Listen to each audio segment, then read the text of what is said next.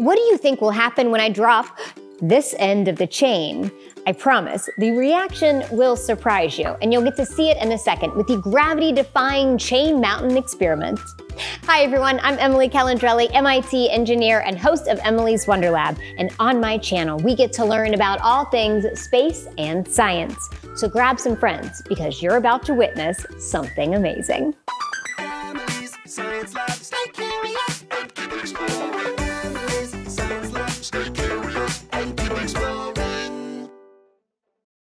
What you need for this one is a glass and a 50 foot long 3.5 millimeter ball chain.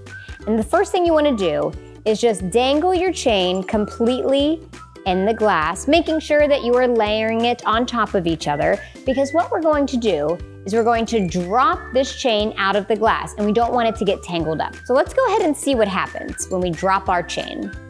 Three, two, one.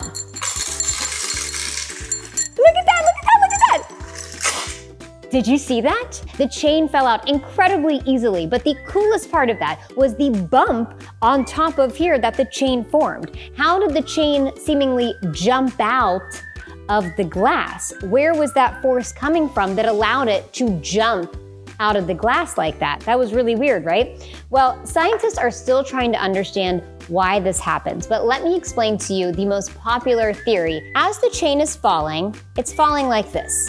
Now look at these balls right here. They're getting pulled upward, right? You see that? As the chain falls, those balls in the glass are being pulled upward. And the most popular theory that explains this tries to imagine these balls as a seesaw. And when one of them gets pulled upward, it's exerting a downward force on the chain below it. And so, when this ball right here that's sitting on all those chains gets pulled upwards, it's exerting a downward force on the chain below it. And what happens when we exert a downward force on something? It wants to lift up. Just like if I want to exert a downward force on the ground, I lift up. And so, as the balls get pulled out of the glass, they are exerting these teeny tiny forces on the chain below it. The next ball gets pulled up, it exerts a little tiny force. The next ball gets pulled up, it, it, exerts a little tiny force. The next ball gets pulled up, it exerts a little tiny force. And all of those little forces combine together to create our hump that comes out of the glass. We're gonna do it again in three, two, one.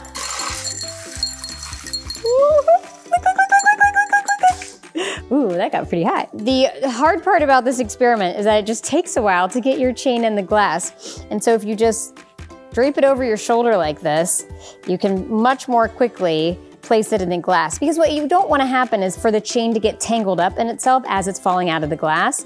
You just wanna make sure it's layered on top of each other nicely.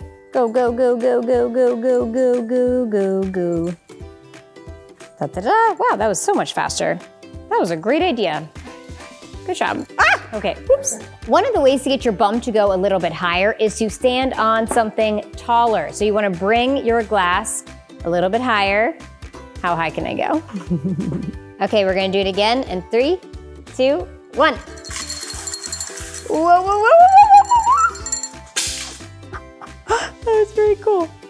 Okay, cool. The other way that you can make it get a little higher is to use a longer strand of beads. I'm using a 55 foot strand of beads, but if you can buy two of those and connect them, making like a 110 foot strand of beads, that will get your bump to go even higher. Another way to make your bump bigger is to really whip your chain downward because that increases the force upward, which increases that force from the seesaw balls downward, pushing that bump a little bit higher. Three, two, one. Look at that. Ooh. Thanks for making a gravity-defying chain mountain with me. If you like this one, be sure to check out my best-selling Stay Curious and Keep Exploring book series for 99 more science experiments. I'm Emily Calandrelli. Subscribe for all things science and space. And remember, stay curious and keep exploring. I'll see you next time. Emily's Science Lab.